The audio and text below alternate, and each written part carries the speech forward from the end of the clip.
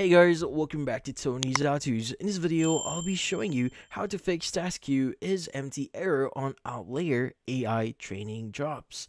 So, before we start, hurry up and check out these software just under this video. Let's get started. So, you might be wondering how do you exactly fix this issue here in Outlier AI? So there are going to be a few things they do here to probably solve this issue.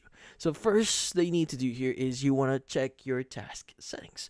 So you want to review the configuration settings here of the task you're trying to run, ensure all that required parameters are correctly set, including input data, multiple parameters, and task priorities.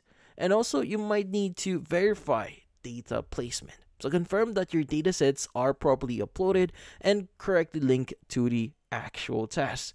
And also improper or missing data placements can often cause this error. So just verify your data placement.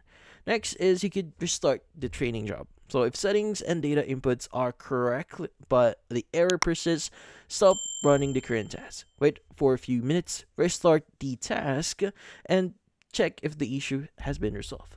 Now, if none of those actually work, what you could do here is basically contact support. Now, if restarting doesn't work, it's time to seek help here. So in this case, it's best to contact cost customer support here.